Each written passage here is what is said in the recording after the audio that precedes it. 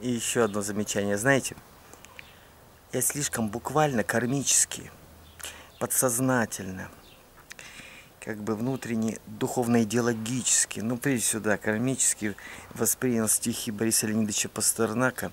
Быть знаменитым некрасиво, не это поднимает высь, не надо зать архива, над рукописями трястись. Ну, умом не понял, душой осознал.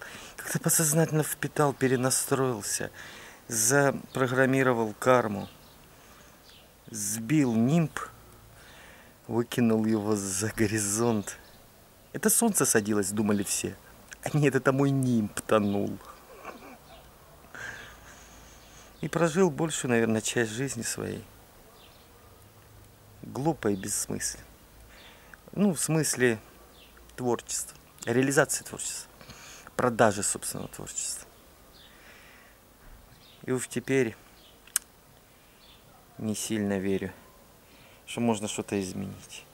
Знаете, это как хромосома, созданная искусственно. Есть искусственный клей, а есть искусственная хромосома. Хромосома неудачливости. Как ее вырезать, удалить?